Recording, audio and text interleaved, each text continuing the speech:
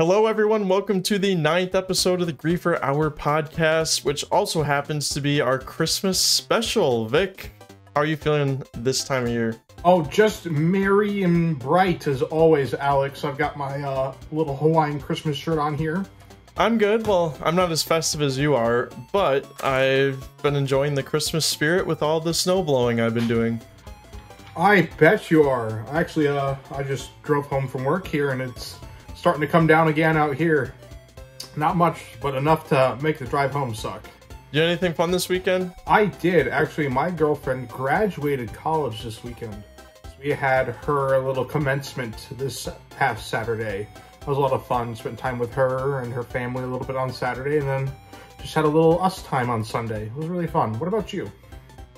Well, I also hung out with my girlfriend. I was slept over at her house for the weekend and played Risk, like the board game Risk. I haven't done that in a while. That takes forever.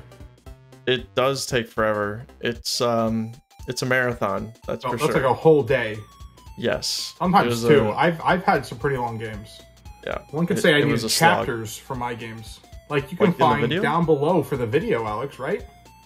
That's right. Down in the scroller below, you can find chapters for each topic that we will talk about in today's podcast. Better way to kick our podcast off, Alex, with some of our hashtag quick chats from last week. And uh, I know this is says it's from Drizo, but I believe it's from Drizo's son, he said in the comments. I believe so. Yes. Oh, what is better? Fettuccine Alfredo or spaghetti?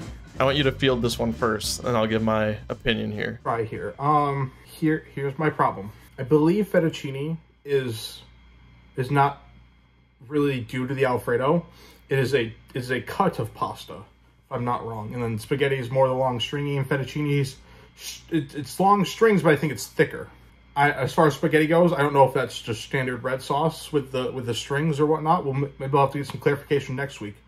But personally, you know, I don't hate a red sauce, but you know, man, Alfredo just hits different some days, you know? Especially with like some nice seasoned chicken mixed in there. Maybe you get kind of a carbonara going with the fettuccine with the Alfredo, you know? Ooh. Mhm. So I'm, I'm leaning towards fettuccine Alfredo to, to answer your question, but I, I believe fettuccine is more of a cut.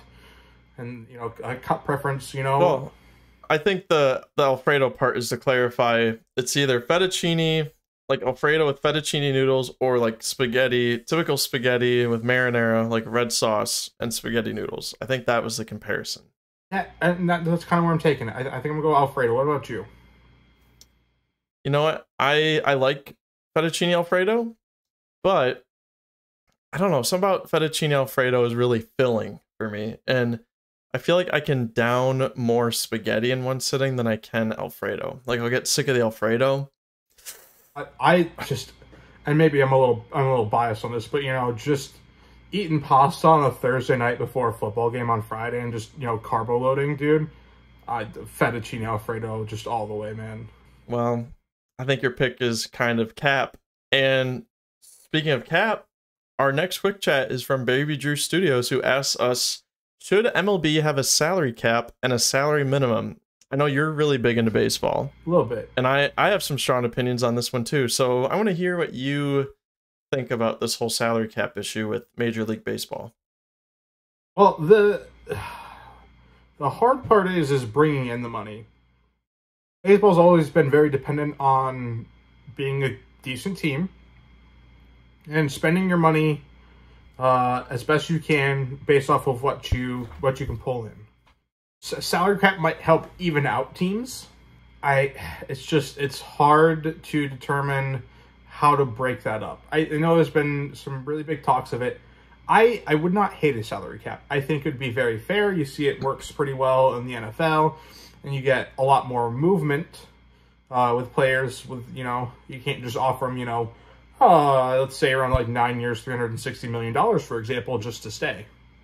Yeah. Um, Well, I I think a salary cap would definitely help level the playing field a little bit more because yeah, it's not like fair. the people that come in the door that pay these players. It's the Oh, yeah. TV deals that they get. Yep, Like exactly. the Dodgers TV deal is ridiculous. Like stupid money. And an example I think that Baby Drew said in the comments was like the the I don't know if the Yankees or Dodgers have already spent like 500 million in the offseason Yep. compared to like the Orioles who spent 10 million. So you see a huge discrepancy between teams. So I think cap would help with that. And then a salary minimum. I don't know how the percentages work. I know like in football, I think Yeah, like minimum is like 750,000 or something. I think a vet min is fair. You know, like anywhere from 500 to 750 is, I think, fair for like a vet min, and I think that's typically what they try to honor for the most part. I don't, I don't think it's uh, much of a rule rule. I believe Mhm. it's more of just like a gentleman's agreement, which is, you know, I think that's understandable. And speaking of gentlemen, Vic, Yes, of course. Drizo asks about our thoughts on Michael Vick and asking if he's the best scramble quarterback of all time. Well, the best part about Vick is that he could also still throw the ball. No offense to Lamar Jackson. I knew that was coming, by the way. I knew that you'd find a way to throw Lamar Jackson to the side and you know, like a little stray there for Lamar, but Lamar has done very well when it comes to scrambling. I just feel he he relies on it too often. Whereas, you know, Vick still threw for like, you know, 4,000 plus yards a season and still had a decent scramble average. Vic is it is it the Really? best? did a well due to his speed, I feel. Okay. And so does Lamar. Lamar does great rushing the ball. He really does. I just I wish I could see him throw it more confidently. I feel like I've seen him grow from year to year, but really this year like that that run first mentality has really come back and you see that with him injuring his knee in back-to-back seasons now. And you know, the Ravens not getting him any solid weapons at wide receiver, so they don't get open and he's forced to rush. And I feel and, and that's a little bit for me not to entirely dog Lamar Jackson that hard, but you know, he ain't got that dog in him like Michael Vick do. My- my- I, I think you can say that. Right. Um, anyway, as far as um, scrambling quarterbacks go, it's hard to determine where a lot of quarterbacks fall on that. there are some quarterbacks who run a decent amount. Like look at Jalen Hurts. Um, he had three rushing touchdowns this past week. And yeah, was or like much- even Kyler Murray is Yep. good at extending plays, I know, whether and- he's rushing or if he's just evading tackles nonstop. And Russell Wilson, before he fell off a cliff, was decent at extending plays too. Yeah. Uh, look at Patrick Mahomes; he's very athletic. Um, as far as scramble QB goes, I believe we have to take it as going from line of scrimmage, you know, towards the end zone. Like they're getting straight rushing yards, and I feel Michael Vick is slightly better than Lamar Jackson at scrambling. I think that's fair. I would agree. Um, the thing about Michael Vick is that he actually had a bag outside of running, so that's uh, He's Probably not a one his trick favor. pony. right. Exactly. That kind of wraps it up. Yeah, I think wraps up our quick chats. Thank you all for adding those hashtag quick chats in the comments below. Please keep giving us more and more every week. anything. Ask us anything. Ask us our favorite color. Ask us anything about sports or gaming or you know. I I honestly at this point I'll take technology, Alex. Honestly, what is two plus two? We will help you with your math homework. Granted, you know it might not help you in time, but we'll try our best. But I think we're gonna move over to basketball now. Love to shuffle over there. So first tidbit today, uh, Draymond Green, you know, being typical Draymond, he gets a Bucks fan ejected for allegedly threatening his life. That's what he said. And it turns out this didn't even happen. The fan didn't even say that to him. So the Bucks gave him a refund, tickets to upcoming games, and my question is: Is Draymond the biggest crybaby dumbass in the NBA? Uh, Maybe that's not the right word. Not dumbass. Um, just complainer. Yeah, whiner. Um, that's a good question.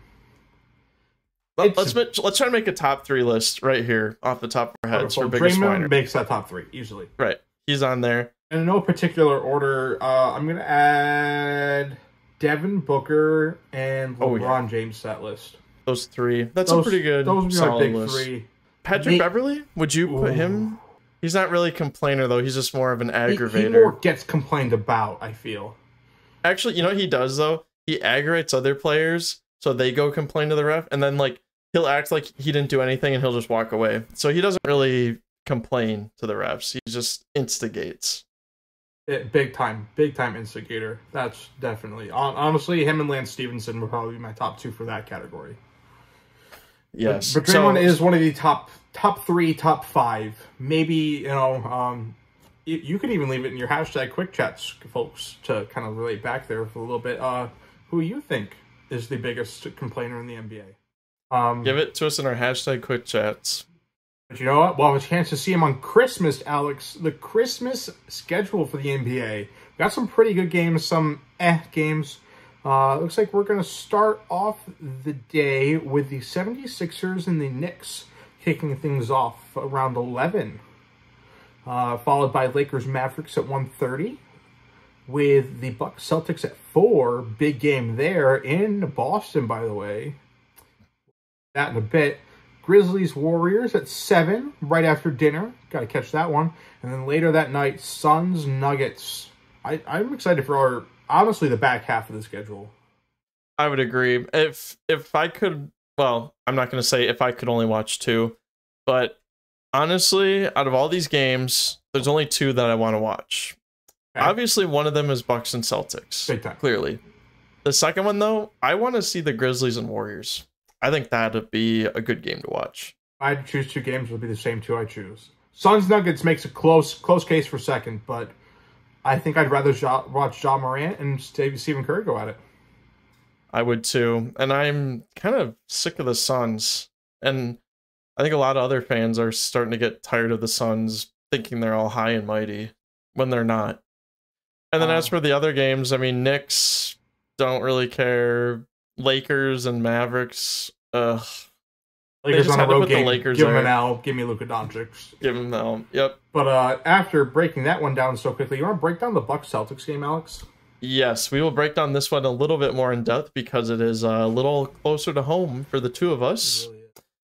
Celtics are taking on the Bucks at home. Uh, Celtics are currently a five point favorite in this game with a 69% nice chance of winning the game. Uh, 538 rates this game 94 quality, 12 importance. I assume that's because they assume both of these teams will make the playoffs regardless of what happens in this game Pretty much. which makes the overall score a 53, which for NBA games is pretty high because the importance of the regular season is a lot lower than NFL games. Especially as we're approaching kind of the midway point. Not really. We still we still got a couple more games, but you know this is still early. I'm sure as we get closer to the end, that importance rating is going to skyrocket. But, So, uh, Vic, I want to turn over to you. What do you think will be the key matchups going into this game for these teams? Uh, honestly, I'd like to see who they put on Giannis because I don't think it's going to be Jayson Tatum. I don't see that happening. Um, I'd be interested to see if Marcus Smart tries to cover him or if they're don't see them putting Al Horford. Robert Williams just came back a couple games ago. We'll see if he's 100 100% for this game. What about Grant? Huh? Is he Grant Williams? No, no, Robert Williams. Uh, you know, the center, number 44. No, but I know, but Oh. where's Grant Williams? uh I I see him more of a kind of a off the bench maybe. But in the playoffs last year, he was one of Giannis's main defenders. Maybe I I can maybe see them going back to that. I don't know. I don't know how they want to change things up. You know, you know, and you get pieces back. You want to move things around. Uh, you also have Blake Griffin, who's been pretty decent on the defensive side this year. Not too bad. I forget that he's on that team. Uh, Dude, he is kind of a sleeper on that team. I feel, but uh, it's been really interesting to see him play here and there. I, I'm sure he's got some left in the tank, but I feel like he's never been the same since he left the Clippers. Uh, I think really it's going to be watching the Bucks from three point land and seeing how much they take advantage of that. So I know they're probably going to start with Giannis in in the paint, but I think that's going to be a big emphasis of the Celtics to stop early on and to focus on that throughout the game and trying to force harder shots. Um, Mhm. That's that's typically what they do against the Bucks. Every once in a while, they collapse and just get steamrolled.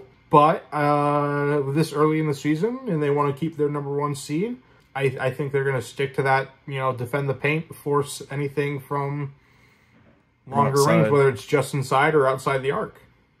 Well, and the thing too is Middleton will be back for this game. So Is but is he going to be hundred percent? And will he be restricted or not? Is a big thing. though.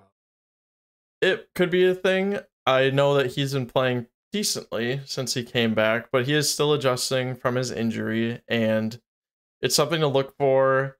I don't know if they're going to target him as a weakness on that team. I think they're more worried about Giannis than anyone else for sure. And like Jrue Holiday really isn't much of an offensive presence. Um, yeah, actually, just flashes here and there. Um, right the he can get hot but uh actually one of the bucks players jevon carter has been just an absolute lockdown defender for their team which is weird for a guard because bucks guards have not been good Yeah. defensively the last few years That's fair. Uh, I'd be interested to see if they put him on uh, Jayson Tatum actually, with him being how good he is this season. I'd be interested. tatum's big though tatum's tall Look at Marcus Smart. He's a little guy, and he got Defensive Player of the Year last year. He is scrappy. He will get up on you, no ifs, ands, or buts, man. I. It's Hmm. not about the size of the person, Alex. It's about how much they're willing to try and how fearless they are. I feel when it comes to defense in the NBA. all right I, you I got me I there. like at some point, yes, height is a clear height and weight is a clear advantage, and you can push people around however much you want. But like, if they're good at what they do and like they're they're willing to do it, I feel in the NBA you can look at honestly look at Dennis Rodman really. Look at the Yeah. um look at the uh the Pistons was I believe it was the Pistons against Michael Jordan. Like they were I believe had the quote unquote I believe it was slap defense. You just fouled him as hard as you could, as I believe was the rule whenever Michael Jordan tried to drive. yes If I, if I remember that correctly. that was in the documentary they talked about how they basically just beat him up physically and that's actually why they explained in the documentary how jordan put on weight and like went to the gym and stuff just so he could get past the pistons because they were physical and tough and jordan was still way too lanky the first time they met or even the second time or however long it was before he finally got past them Not to, not to deviate too far because I love that documentary. I want to talk about it so much. But yes uh, it is a great there, documentary there's a lot of little key things there. But back to back to our main thing before we deviate too far. Um, I so I, I think we should do kind of a prediction we don't have Kind to do score i don't No. think we have to do a score but That's obviously i think i know who you're going to pick to win this game Um, so and uh, Really? uh, maybe I'll do like a like maybe a point differential here. Um, the Celtics have been kind of iffy lately, dropping random games here and there. But you know, I, it's early. Um, I I like the I don't really like the five points. I think it's gonna be much closer than that. I I think it's gonna be like a two or a one point game. Um, so it's going to come down to like the final shot basically I think so. That always when these two teams play, Alex, I feel it's it's a wonderful battle of talent, no matter what. yep But uh, I like the Celtics by two here. celtics by two all right well i will have to go with milwaukee i think that comes as no surprise i want the bucks to make a statement in this game saying you guys beat us in the playoffs last year and it was a fluke and we are here and we should have been in the finals last year so i'm going to take the bucks by six points Lost me at fluke, but uh, Uh, Khris Middleton didn't play, so I don't know how you can say that was a full strength Bucks team taking on the Celtics. And they I'm took him to saying that. seven I'm, games. just, I'm saying fluke's the wrong word, you know, I, I nothing else but a a Christmas classic here, Alex. Though, out of these two teams, I expect. Speaking of classics, we got a little special segment here for the holidays, guys. We're going to be going over some of our favorite Christmas classics. Um, starting with our favorite Christmas dinner food, Alex. Now, I don't know about you, but I, I might have taken this a little too far, but I went with a main and a side dish because I felt it was too hard to choose. I am a very big Christmas ham person. You know, after having, you know, turkey on Thanksgiving, you got to switch up. Christmas ham Right. or like Christmas lamb, even, So, my favorite dinner food, I'll go with a main first. Okay. Uh, My family Christmases, it's always a tradition that we have like our German style like meatballs, and I really like those for my main dish thing. nice. And actually, I got to think about it more, and I think my favorite side, and this is really random, but on my other side of the family, we always have like shrimp and cocktail sauce at our Christmas dinner. And I don't know why, but we always do. So I'm gonna go with the shrimp and cocktail sauce. Not bad. You know, I, I, I don't hate it. I always picture shrimp and cocktail sauce as more of like a New Year's thing, but you know, Yeah, that honestly, it's a weird week between the 25th and like the first, man. You know, it all blends together. finger I mean, foods. Everyone's traveling. It's something quick and easy.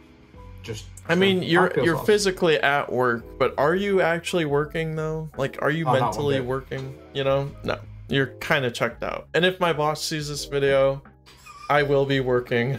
I will be working between Christmas and New Year's. Little disclaimer there. Uh, all right. Well, hey, you know, after a meal and your side dish, what comes next? Gotta have you know, gotta have dessert. And my favorite dessert, and this is more of a treat, I guess, not really a dessert necessarily, but I personally really like those Buckeyes, which are the peanut butter balls that are dipped in chocolate. That's my favorite. can't go wrong with those. I and this is more of a kind of an all-around dessert, but like I I feel like my family has it more around Christmas. But chocolate squares, you know what I'm talking about? Like fudge or chocolate squares? Like like a Hershey's chocolate square no, or no, like no. I, I maybe you've never had it. Maybe it's more of a New England thing. But uh, is a and maybe you'll know what I'm talking about. Maybe there's there's different names for it depending on where you go. Um, it's nice graham cracker bottom, and then you have it- Oh, Yeah, you know what I'm going with yes. And it's and it, it ranges from either chocolate pudding to like a chocolate mousse. yes. Um, and there's there's kind of a layer in between that to kind of bind the, the crumbs to the pudding. And then on top of that you just cover it with Cool Whip. And you cut it up I into know. squares. And and I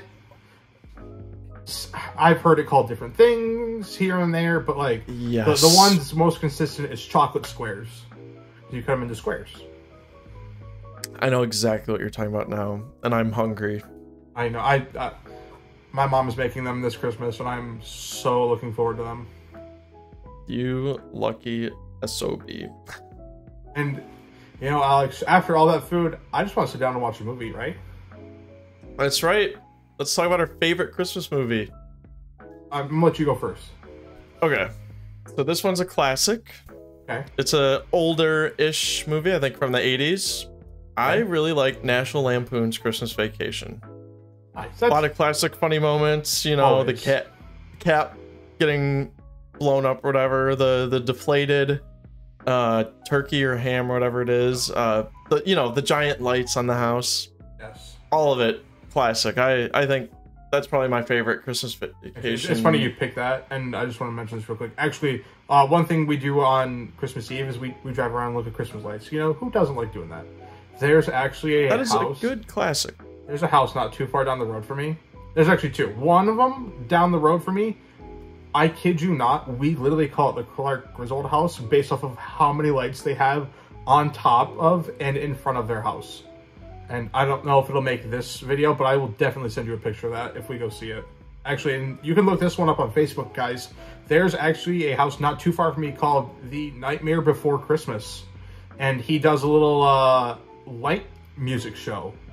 He's got a little projector on his uh, garage, and all of his lights in his yard and house are coordinated to a, actually a radio station he owns and operates. And you can tune into the radio station and listen to it, Alex, and watch with the light show. Sounds really cool.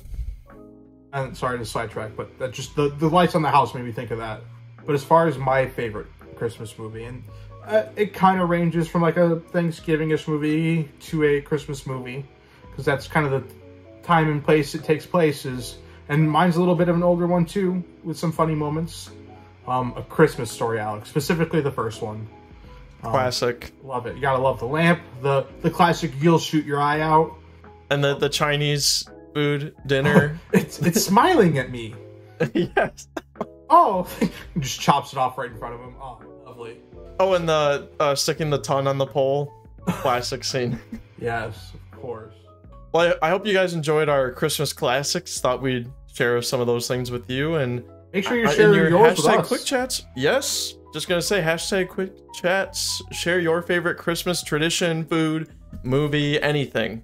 And I know we are not going to be uh, back here for two weeks because we're gonna take a little break during the holidays, but we will read all your favorites and talk about them on the podcast. But I think it's time to move on to some football. And actually, not quite the NFL yet, guys, but the biggest time of the year for the college, the football playoffs, Alex. Yes, it is time for college football playoffs, where, of course, there's only four teams because that's how college football playoffs work for some sense. reason. Only Absolutely. 25 teams get ranked. we don't care about the top four. Right, so of course, it's completely fair, and there's no teams left out of the playoffs that should rightfully be in there. So, first matchup we have is the Fiesta Bowl, where number three ranked TCU takes on number two Michigan. First off, let me say I think Michigan's going to win this game. Ooh, okay. You don't agree? Oh, I'm not saying that. I just think that's interesting. I I didn't know if you were going to be a big blue guy. I was really curious. Well, as a Badger fan, I'm kind of like mixed feelings on it, but If there's anyone out of the Big Ten who should make it, it's Michigan, right? At this point, right. Well, and what didn't Michigan like blow out Ohio State? Wasn't And that I believe they did for the for for, the championship to get the two seed over the four seed. right? And for that reason alone, blowing them out, I think Michigan is by far the best Big Ten team in this four-team playoff. So, good game. I don't know I much. of- think this is honestly- better than the other game, and we'll get to that in a minute. Um, right. What I am very excited about is just really quickly no Alabama, no Clemson, no No oh, LSU. it's beautiful. Actually, I don't mind LSU. no, like LSU when can Joe it. Burrow was in there, fine. that was a fun But game you to know, watch. with you know Clemson and Alabama plaguing us for years and and, a, and a quick years. side note uh how many players did alabama didn't they lose like 18 of their starters in the I transfer knew it started out at like eleven, was- and it was. It's bad. They've lost pretty much half of their starting offense and half of their starting defense last time I checked. I'm sure the number's only gone up. Actually, the transfer portal, I believe, has over like 100 plus kids in it right now. do you think this is because of nil which we could talk all about nil Oh, it, uh, that'd be a whole podcast in itself. but you got to think that's part of the reason these Oh. players are moving Big time. I mean, and look at uh um Prime getting hired by Colorado. I think he's going to flip that program around big time. i think so too and well he was really good at it was jackson state right jackson state he was really good they won their i don't know what what do you call it i don't know what their division is but they won They won their their thing. championship right Um, and it seems like he's a great leader. I mean, yeah, he really is. if I was an if I was aspiring to be in the NFL, you have Nick Saban, Alabama, historical place to go, you know, basically get a free Oh, yeah. draft into the NFL. And then you or you take a risk on Deion Sanders. I'd risk it. But it seems like they're the risking coach, it. Man. You know, I I've heard Nick Saban's tough, man. I like whether culture or not, Nick Saban's tough. Like the Bill Belichick of oh yeah, college football. big time. And I'm I'm But- sure he's pissed on missing out this year. Oh yeah. I'm, they've got a bowl game that doesn't matter, but you know, But it doesn't matter because that bowl game, none of the bowl games that are not a part of the playoff matter. I have no idea what the spread is. I have no idea what like the differential is. So it's college. This is football. college It's always going It's- to be good. It's going to be good. It's going to be high scoring. You know this. Oh, yeah. I know this. So I'm going to go out there. I'm going to say Michigan wins this game 45 to 33. High scoring game.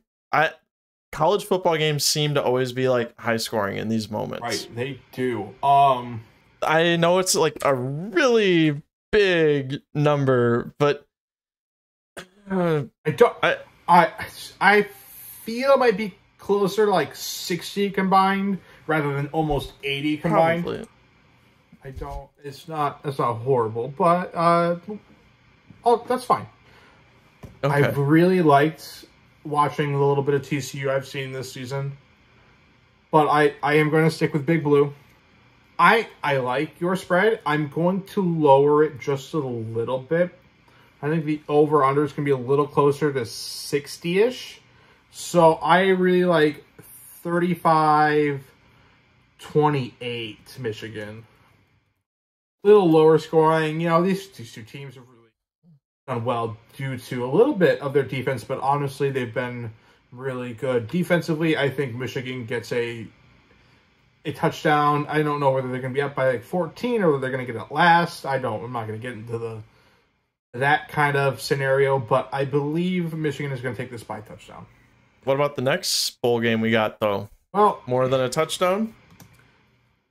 I see, this is going to be interesting. We do have the Peach Bowl next with Ohio State versus Georgia. Georgia being the one, and Ohio being the four. Um, man, after seeing Ohio State get obliterated by Michigan, I'm really curious to what Georgia's going to do to them. Whether they're going to drop like 60 or 70, honestly. Um, Come on, you gotta be a little conservative, maybe more like 50, right? I, I think It sounds like we both have no faith in Ohio State to do much. No, uh, they they seem to squeak in the, as the four every once in a while, but they always get destroyed. And I know maybe destroyed is a harsh term. Um, sorry, sorry, Ohio State fans. Um, I I th- obviously I'm taking Georgia. I'm just gonna say that off the bat. I I think Georgia is going to. I I'm gonna I'm gonna kind of do what you did in the first one. I think Georgia's gonna drop at least 45. I think Ohio State might muster up 20. I I I really don't know what to say. I, I we should have looked at more college football in the season. It's tough, like when the Badgers, when I realized the Badgers were horrible, my interest in college football just sort of dropped off. Pretty much. Uh, same with UConn. I I don't pay attention to to football. Basketball. Now you've got my attention. Football, no. Uh, just college football. While it's fun and interesting to watch, like the bowl games here at the end, the regular season just kind of boring here and there. I feel. The only game I thoroughly enjoyed was watching Joe Burrow just tear it up Pretty with much. LSU. That's about it. But I gotta give my prediction. I went really high with 45 with Michigan. And I don't want to go like I don't want to be like, oh yeah, I mean if Michigan can score 45, Georgia can score 60. Like I can't do that. it's just not gonna happen. Um give me Georgia, we'll say 46 to 21. Just I'm literally going one point higher. 46? That's such a weird number. I think it's too I late. You've said it. Write it down. It's too I late. said it. I said it. It's going in the notes. Two, two points. I want you to know. I don't know if we heard Alex's Ohio State score. Whether it's irre- it's completely irrelevant. He went 46-21. I am being outbid by two points. Is this Price is right or something? It sounds like it. I'm ta- I'm taking the over on your prediction. 65. The over under it's 65 points. You're taking the over. I guess oh. so. Wow. I, I. Vegas has words for you, and they're calling. But uh, you know what? For, forget Vegas. Let's really talk about the college football playoff picture in the future. Um, what are your thoughts on expanding it, Alex? Well, I what from what I've heard, they're expanding expanding to a 12 team playoff by the late at the latest 2026. It could be sooner, but I I think see. they agreed by 2026 they're going to definitely do it. That's a very drastic change. I feel. I just- don't know. honestly, that's three times the size it is now. Yeah, but like okay, guess let's say it's 2026, right? And we have all these NIL deals, and it's, it already seems like players are going around wherever. So maybe the college football uh, atmosphere in general is a more competitive landscape. Because let's be honest, who really cares if Alabama can score 80 points against little old Wake Forest. Mississippi State or Wake Forest or some who knows who they are Some team? like Division Seven school that shouldn't be playing Alabama. Right.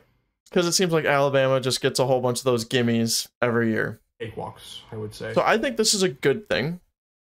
Assuming that Oh, I- I'm not saying it's bad. I, I'm with you. I I feel like ten might be a little more conservative, like two first round buys, and then you know, but I think 12 is a good like like when you think of like Now, what the way I think of it is like sort of the there's the four teams that get in, and then there's like the next like five to ten teams that you're like there's almost like a screwed over index of like, dang, this team was undefeated and they still didn't make the college football playoff.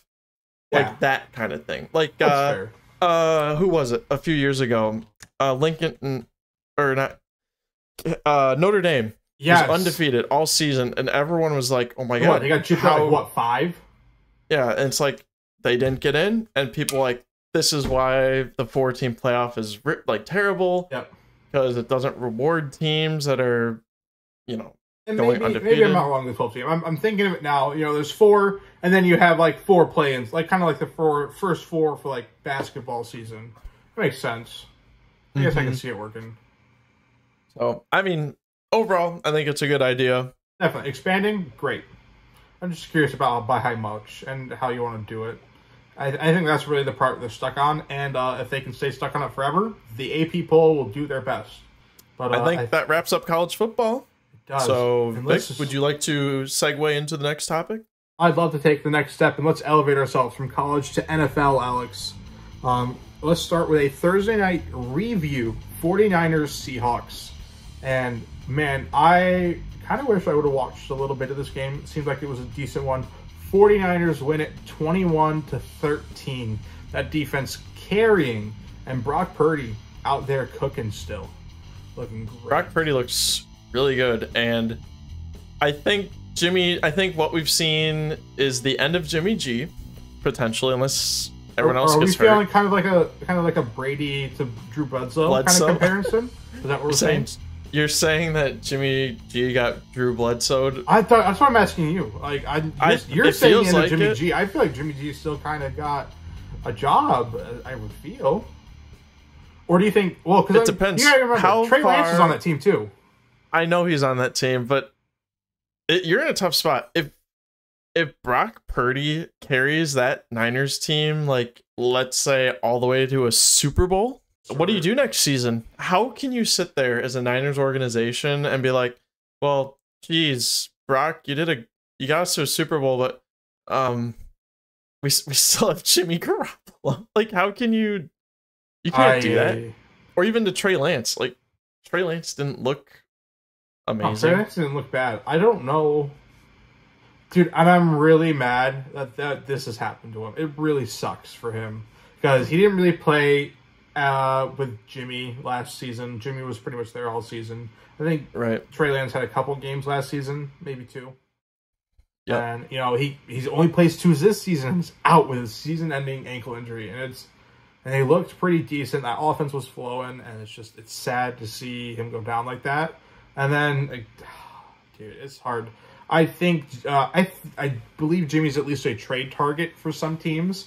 You know, I, honestly, and I know it's not that super likely in the division. I could see 49ers trying to deal Jimmy G to the Seahawks if they don't pick up a quarterback in the first round. Really? Because Gino has been good, right? I mean, That's been good. They also have a top two pick from Denver this season. Um, oh or top Yeah. five, I guess. yeah, Because I guess Russell Russell Wilson was worth that to tank for. Rough. Uh, man, I, I, I hate trading first round picks for absolute trash. Hate to see that. But uh, I could see that happening. yeah. I Uh, think that's doable. I think Jimmy G is definitely a trade target this offseason, and I'd be interested to see where he goes. Honestly, again within division, if Matthew Stafford doesn't return or if they don't have Baker Mayfield, I could see him going to the Rams. He could. I just I, don't I know. highly doubt he'll stay in division. Um, Yeah. And I don't know if they have the money to cut him, but uh, I could see him at least signing in division if he if he is able to be cut, if if they are able to eat that cap. Yes, yes. Anyway, we both got it right. Um, we both kind of overpredicted and kind of overestimated the 49ers a little bit and kind of underestimated that defense. That defense held them to 13. I had 25 21 Niners. You had 28 17 Niners. Yeah, we're pretty close. But I think moving on to our Thursday night football preview, we have the Jaguars versus Jets. And as Mike Tomlin would say, we do not care. I care a little bit. That's more for the Patriots playoff chances. But uh, I, I I'm taking the Jaguars. they look great. They beat the Cowboys. Woohoo! Let's move into our next segment. All right, moving on. That was our Thursday night football preview, everyone. Moving on, we're gonna go to our 5:30 great games of the week review, reviewing last week's 5:30 great games. The first one, Dolphins Bills, big AFC East divisional game. Great game. Bills squeak out the win here, 32 to 29. Uh, my prediction, 25-20 Bills. Your prediction, 24-17 Bills. So we got we got it right, but Dolphins put up a little more of a fight than we were expecting. They did. They did not care about the weather. Big factor there at the end. Um, hate seeing snowballs from fall from the sky, Alex. Um, Only Bills fans. Only Bills fans, man. Um, but uh, big two point conversion of Josh Allen there near the end. Actual. Um, I hated seeing him jump for that and then fumble the ball and then everyone chasing after it, but him just standing there going, "I got it, I got it." I'm like, "What are you doing? If you lose me fantasy points, I swear to God." And then they were really good, and I was, oh man, that was a that was a panic attack. But uh, Right. yeah, got it right. That's all that matters. You know, you just stand there and say you got it, you'll get it. It's fine. Yeah. Um, I mean, it's a good thing they didn't do something like throw a lateral away to another player that ran it out for a walk-off touchdown. Rhamondre Stevenson should have gone down, and I will stand by that. I didn't watch that game, and I don't want to talk about it. You just you go down, you take overtime, and you just you go and win the coin toss. It only takes 13 seconds. So, does Jakobi Meyers have a job next season? At McDonald's, maybe? Uh, I think Dunkin' Donuts might be a more realistic option for him. Dunkin' But uh, Donuts. I'd be curious to see if the refs have a job after the Giants Commanders game, Alex. A Oh lot of my controversy gosh. coming out of this one. Lots Oh, of yep. controversy. Um, The memes were just. I didn't watch the game, but the memes told me everything I needed to know. I know. saw the both plays, and both plays should have had flags. Like I like I'm talking like roughing the passer, baby bad. Like they should have had flags. I don't give a shit. I um Giants Commanders Giants win twenty to twelve. Um, you you you're getting closer to me here in these predictions because you had the Giants at least, but uh. Man, uh this was really close. I really thought that last second touchdown was gonna get a flag. Uh, I, not. I don't know if we can legally show the clips. I don't think we can because NFL copyright laws. But uh, holy heck, that was that was PI to another level. Like honestly, you know how bad it was, Alex. It was that Rams Saints playoff game should have had a flag bad. I was gonna say like I, I, my thought was like this is almost as bad as the uh the Saints not getting in the playoff or getting bounced out of the playoffs from that dumb pass interference. Yep. This is this is that level of bad I felt. Um, and actually, you know, it's crazy if they do get that last second touchdown. It, it does come down to a two point conversion, like, and it is what it is. But like, I think we could have gotten that two point conversion because of I think these two teams, and I I think this is fair to say, are some of the two most evenly matched teams in the league. Alex, I think that's fair to say. Literally, I mean they tied each other. Yep, and I How I quite even does it get?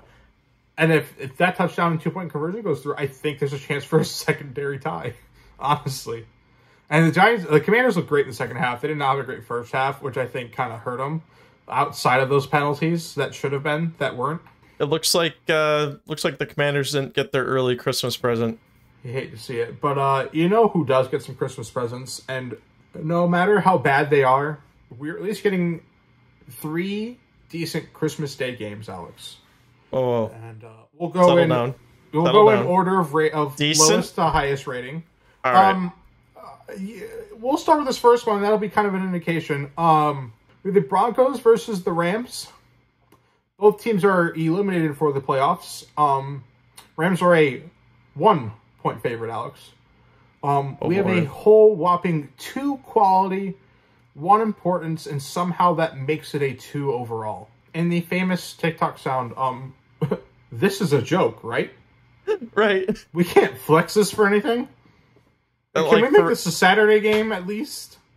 like why you know i understand like the rams defending super bowl champion what better you know way to have the rams your super bowl defending champions play it out on christmas against the broncos who are a team that have all this promise, and now we're here at Christmas, and these teams are both terrible. Yep, So- both honestly ridden by injuries. Um, you know, Are we even gonna give a rating for this game or like review? Is it even worth it? I feel like we can just talk about why these teams are so bad really quick, and then um, Okay. we'll just move on to the next important game because actually, it, uh, probably actually its importance has probably gone off after this weekend, but we'll talk about that in a minute. Um, really quickly, uh, Baker Mayfield has looked semi decent at quarterback. I uh, I know we got named this last week's starter against the uh, pa- uh, Packers. Packers. Um, Yep. how's that game going? It was ten to three last time I checked. Packers are up right now. I think the third quarter just ended. Packers are winning 24 to 12. Other news, um, Alex, do you want to talk about our next game? Yeah, let's move on. Honestly, give me give me the Rams and moving on. Give me the Rams. All right. Yeah, me too. Next game. This one's actually a little more important. Well, kind of. I'll explain why. It's the Buccaneers taking on the Cardinals. Buccaneers are a two and a half point favorite. The quality of this game is a whopping 14, importance 27, and overall 21. And my guess is that wait, no, this isn't even a 530 great. This is literally just on the schedule. That's why it's so bad. But the only reason there's any slight importance to this game is the Buccaneers at six and eight, mind you, are leading the amazing NFC South And, and are honestly, probably going to get a playoff spot. they wouldn't be having this bad of a problem and having this. Actually, I bet you the importance has gone up. I don't care to check it, but after blowing that lead to the Cardinals, I'm sorry, uh, Bengals, my bad, C's and Cincinnati and Cardinals, and just died. I can't read anything right apparently. but uh, after blowing that lead to Cincinnati, uh, it is way more important to the Buccaneers to win this game than to drop it to the Cardinals, who will still be quarterbacked by Colt McCoy, I believe, unless they've moved on at this point. Um, so I bet you that spread has changed a little bit. Maybe we'll see. Um, tough game last time for the Cardinals, I believe, against the Broncos, and they kicked the whopping three field goals. Um, I feel the Buccaneers defense might be a little bit harder and uh, a little bit more. Uh, I don't know how to say. Uh, looking for a desperate domination game. And I think this is the perfect time to show a flash of what they're supposed to be against somebody that is meager and won't make the playoffs and you know will give their fan base hope for absolutely zero reason. And with that, Alex, um, I'd like to move on to your prediction first because I'm really curious what you think. Well, I think Buccaneers. I want to say they're gonna like dominate this game, and they really. There's no reason why they shouldn't blow out the Cardinals. Cardinals don't have Colt McCoy, or they don't have Kyler Murray. They and Psycho Tom will probably come out after getting embarrassed the way they did. Give me, and I don't think this will be like super high scoring because Buccaneers offense has not looked stellar. Oh, their red zone has been horrible this year. So I think this will be a pretty puke-tastic, low-scoring affair. Okay. Give me the Buccaneers 21 to the Cardinals 12. And that is four field goals, in case you wanted me to do the math for you. Oh, I I don't hate it. Uh, I'm gonna go. I I was actually debating on whether I wanted to give the Cardinals more or less than ten points. I know I can't give them ten points because that means they get a touchdown somehow, and I, that's not happening. So I'm just trying to decide whether I want to give them four field goals or three, and I think I'm gonna go ahead and give them four. But I don't think the Buccaneers get in the end zone three times. I think they'll Oh get in there God. two and kick two field goals. So give me the Buccaneers twenty to twelve. I think that's right. fair. Definitely fair. And I I wouldn't watch this game. No, a game I will watch though after Christmas dinner, um, Packers Dolphins because this one is the best on the schedule, Alex. This is the best Christmas gift the NFL could give us because apparently putting any better teams on Christmas Day is a sin. But uh, the Packers fighting for their playoff spots here, um, and the Dolphins fighting to keep theirs as well. I, I'm surprised this isn't higher rated because they're both teams that have big aspirations. Both teams are cli- really clinching a wild card, man. Um, yeah, well, Dolphins are, can't win their division anymore. I think Bills have pretty much snatched Um, that from their actually, souls. If the Bills Really? lose out, I don't think, which they probably won't. They've got uh oh, they've got the Bears this week, um, Cincinnati uh, the week after, and then New England to end the season. I don't I don't think they're going to lose out, but if they've clinched the one seed, maybe they lose that New England game. Um, you know, I was doing a little 538 playing, and uh, we'll talk about 538 here for just a second before we get into our predictions here, just because I want to stall. Um, you can actually go on to 538 and uh, predict the playoffs or predict wins and losses and calculate your team's chance.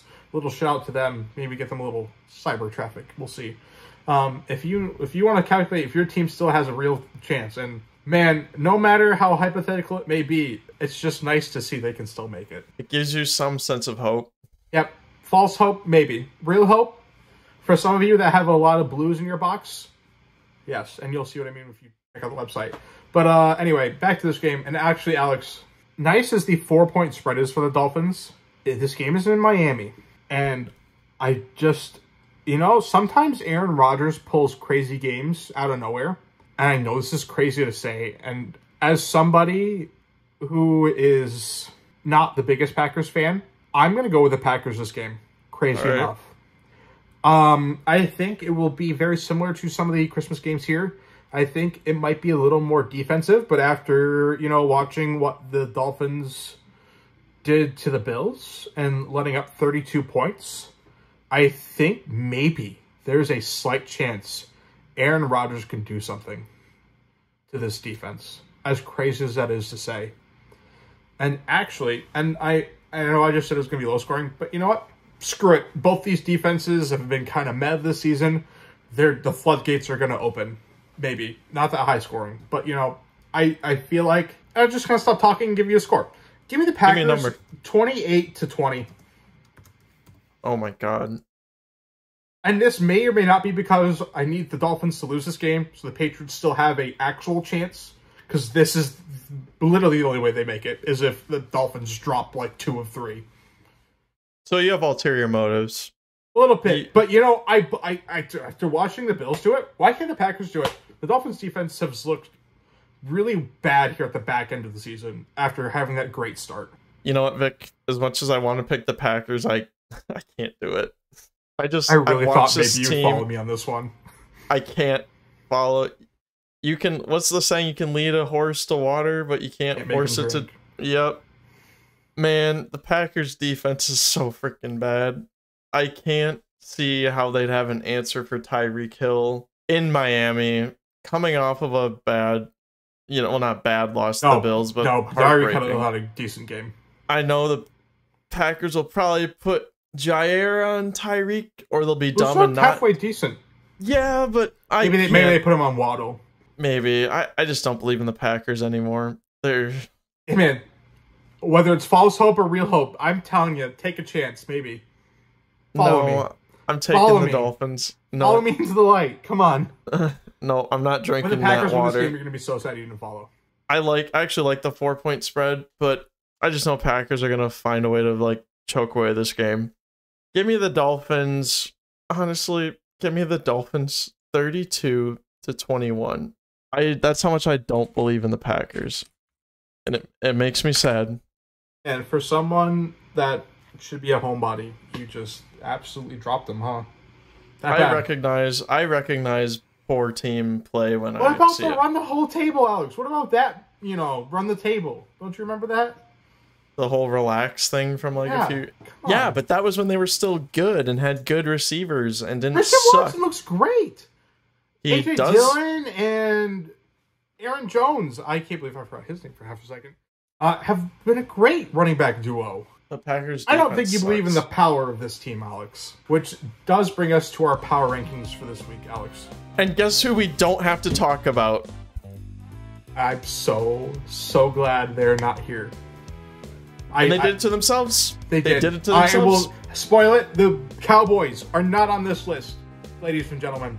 Honestly, I have them at seven. I would like to give an honorable mention at number six to the Vikings for having the largest comeback in the regular season. They don't make the list. Anyway, into our actual power rankings and the five teams that do matter. Um, number five, Alex, we're just going to hop right into it. Give me the 49ers. Um, Brock Purdy has been an awesome steal in the draft. Uh, I think if you look at anybody doing uh, redrafts of this season, Brock Purdy goes higher after him looking this awesome. Um, they have clinched a playoff berth with their third quarterback of the season. Uh, that defense is still carrying, but you know what? I think they're going to do great. I'd love to see them against a playoff team, which they uh, don't really have against the, the end of the season here. Not really. Uh, they got kind of a nice cakewalk to end the season, Alex, with Washington, Las Vegas, and Arizona as their last three games. This may be where we disagree on some things here. But at number four, I have the Chiefs, Alex. Um, I felt it was disrespectful to not put them on this list. I felt it was a little disrespectful to put them at five. So I gave them number four. Even though they went to overtime versus the Texans, I felt like they should have dropped lower, but I couldn't leave them off the list and I couldn't just put them at five. Is that fair? No, that that's fair. And Okay. the Texans always seem to play well against bad or well against good teams. They really do. some and random just run us reason, down when it matters most. Really. Got to talk about our number three seed here, Alex. I've got the Bengals. Who Dey, baby. Um, their defense has looked great this season. Um, they shut out, and I'm going to go a little Skip Bayless on you here. Thomas Edward Patrick Brady Jr. in the third quarter. Absolutely shut him out and make him blow a lead. Crazy. This team is definitely a Super Bowl contender, and they have a little bit harder at the end of the season, but I, I believe they're a playoff lock now. Um, I, I don't see them making anything less than a seven, anything less than a division winner.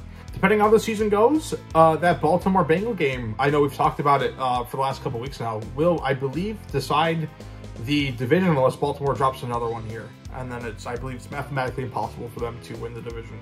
And then uh, I've mentioned them a little bit here. At number two, Alex, I have the Bills. I wanted to put them at number one. I really, really did.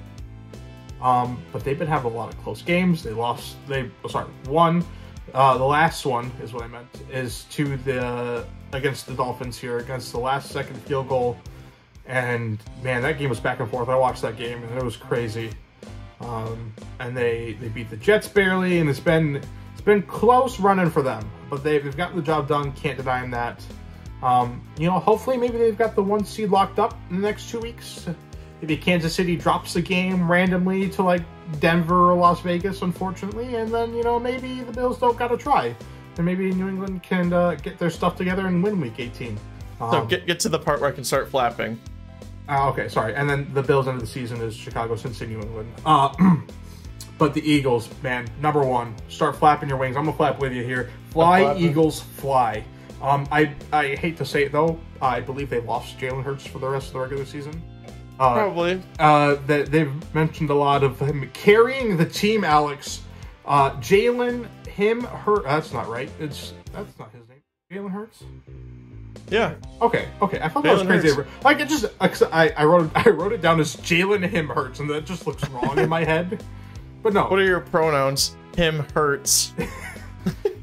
anyway, Jalen, quote unquote, him hurts, steps up, carried the team literally, uh, scored all of the points outside of a field goal in the first quarter. And, uh, you know, it looked a little shaky against the Bears there for a second, but man, big, big second half out of Jalen, and he's looked great all season. Definitely MVP candidate. I honestly, I could definitely see him winning it. There should be no reason for him not to. But uh, they've pretty much locked up the division now, um, and the number one seed. Like they honestly can't really lose it without like losing out. And even then, I don't know who can steal it from them. The, the Cowboys really can't steal the um, division after that horrible, horrible loss to the Jags, who honestly might have made this list if they didn't suck half the season. Uh, and Good could point. possibly still steal the division from the Tennessee Titans. Um, but uh, a solid win against Dallas next week. Uh, I don't know if it's on Christmas or like the day after or something, but uh, Dallas Eagles is going to be a good game. And then they've got Dallas, New Orleans, and the New York Giants set in the season, Alex. It's gonna be a good one. Definitely is. Well, I, I think your list is great, and I'm gonna talk about something else that's great. Oh, yeah? Yeah, moving on to our gaming section, we're gonna talk about some kind of game of the year, not drama, but just uh, a retrospective, I suppose. Okay. So Elden Ring won Game of the Year, Yeah. but Metacritic, um, I would say, which is a little more reliable than like IGN, uh, turns out that Elden Ring was not the top-rated game on Metacritic this year. Really? Turns out Witcher 3 Wild Hunt with the next gen update I don't want to call it a remaster, but it was kind of a polished fine. version. Yeah. Got a 97 out of 100 rating on Wow. Metacritic. How much stock do you think these people put into like Metacritic reviews or IGN reviews? Um, Well, I feel like Metacritic is right there behind IGN. I just feel like IGN's more established and has been around longer that people just trust it more. I feel I, I just feel like a lot of games get overrated. definitely It- it- are. It leans too much to the the positive side of things, and I think a lot of games tend to get inflation. This is inflation. This is inflation. Game rating inflation. Um, it'd be it'd be nice to see Metacritic get more stock put into it. I think that's fair. Um, I I don't use it that often, but uh, you know, every once in a while I pop over there. It's definitely not useless when it comes to gaming, but uh, I'd like to see more out of it. I think that's fair. Pretty controlling. Um, maybe not controlling, but uh, not as controlling as the government's trying to be. Alex, uh, apparently the government has a group of seven lawmakers that sent a letter to a couple of the biggest video game companies and are asking them what steps they're trying to, uh, I guess, taking or trying to take to combat harassment and extremism in online video games. Uh, the list includes Activision Blizzard, Sony, Roblox, uh, Take Two Interactive, Riot Games, Epic, and of course EA. And you know, some of these games are pretty good when it comes to you know whether it's you know chat features or, or voice chat features. They're they're normally pretty decent at catching stuff. I would think so, but like I, I don't know like Call of Duty is literally a game about shooting people with guns. Like, well, what do you do to combat? I don't know. And I feel like this is kind of out of pocket the government. I, I don't know why they would care. I know the internet is becoming increasingly, you know, dangerous, I guess is the correct word. You know, there's a lot of outreaches. Um, you know, I, you got to be careful. I mean, I'm sure. I I'm. I wouldn't be surprised if they start getting into, you know, I'm not sure how well that would really go, but you know, social media. I mean, look at Reddit. Honestly, I I would guess what might be a big kind of outreach in that way. The thing about Reddit is it's such a communal place. Yeah, and People would lose their minds if the government tried to like puppeteer Reddit because Reddit's sort of a anonymous safe space for people. You would think, but uh, So back to this topic about the government. Yeah. Uh, one thing that's interesting is uh, from this article that I read about it. One of the other companies that was on this list was Innersloth. Do you know who Innersloth is? um, aren't they the Among Us creators? Yes, and do you know how big that group is? Uh, I know they had to expand, but aren't they? They're maybe like twenty strong now, huh?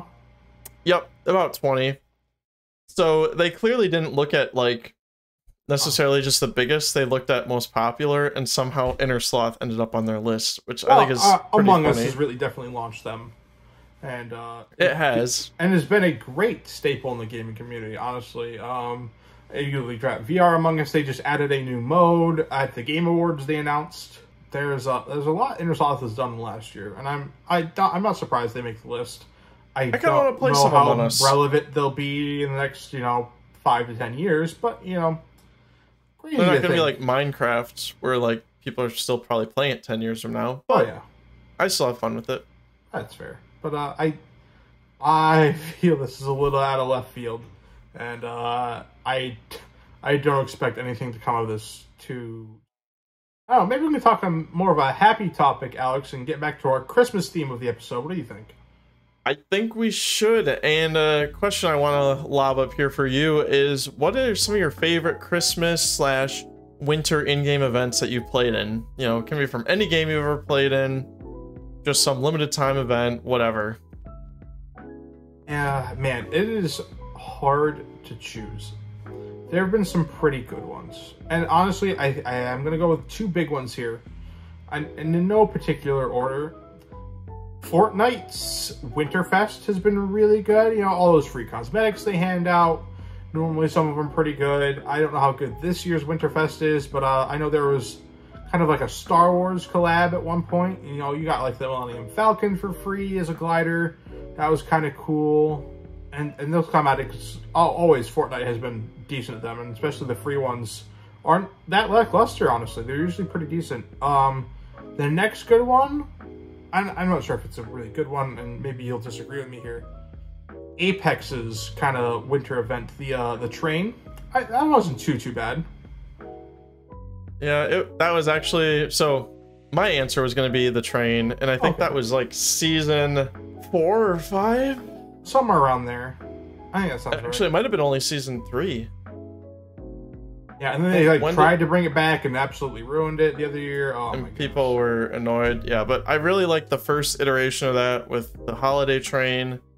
Um, and I also enjoyed playing like whenever Rocket League would have their winter events. Like, That's um, right. Um, they, they, well, they'd give out a bunch of free.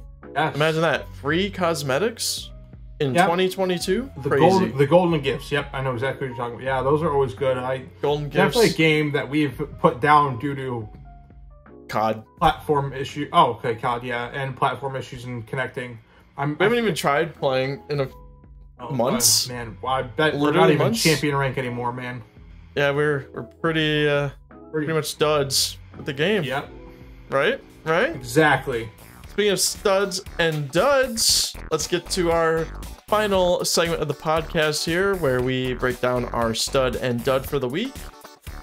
A lot of good options this week, I think. Great options. I I really hope we didn't choose the same ones. I hope we didn't, and I don't think we did, because my stud is going to have to be Lionel Messi winning the World Cup with Argentina. I love it when you care about another sport more than I do. And I figured that was a safe one because I don't think you really paid attention to soccer. So, and the I good was thing asleep for the game. I'm not gonna lie. I woke up and I was like, "Damn, it's three to three, and they're going into penalty kicks. That's cool." And then put my phone back down. well, and the good thing in is that like a lot of Americans are bandwagon Messi or Ronaldo fans. So when Messi wins, America wins. So I big dud, so. or not big dud, big, Big stud. stud. big stud there. You know who didn't go out on top when he should have?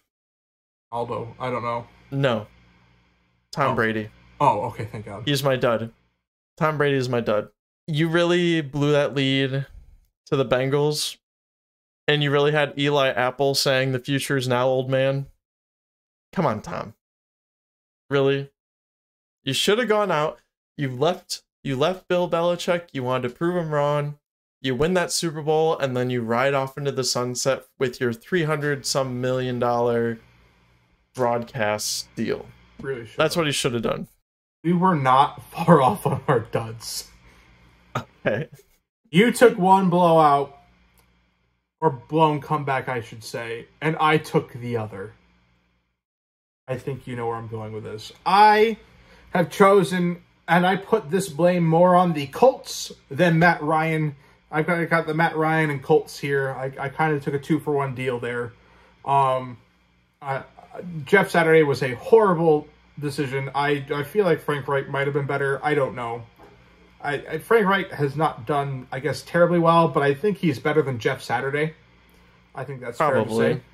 Probably better than an ESPN analyst, right? Definitely. Um, biggest blown lead ever.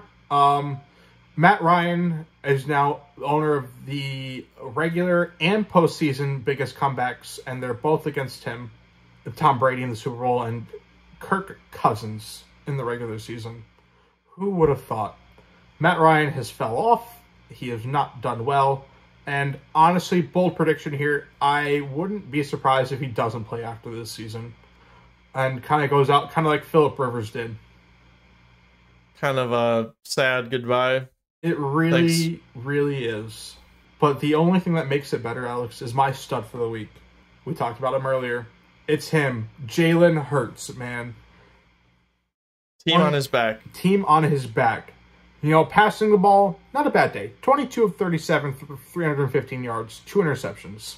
You know, not, not great there, but 17 rushes, 61 yards, a hat trick in the touchdown department, and a two point conversion, baby. He is him. And honestly, if he is not the MVP of the season, uh, it's probably Patrick Mahomes. But outside of those two, okay, maybe Joe Burrow. Those are my top three. But I, I believe Jalen Him Hurts deserves it. man, you've seen him carry this team. It is it is his team. He has been the difference maker there. It's not just a good team around him. It is he's elevated his play and he is him. He is him indeed. And on that note, I think it's time for us to end. We've had a great podcast here. We'd love to wish you all a Merry Christmas, Happy Holidays. Um, we'll see you in January, guys. Thank you for watching the podcast. Thank you for being here. Every little bit counts. Make sure you like, subscribe, and ring the bell to get notifications when video goes live. Put some love in the comments. Let us know your favorite stuff about Christmas, whether it be movies or music or food. Let us know about the biggest disappointments or crybabies in the NBA.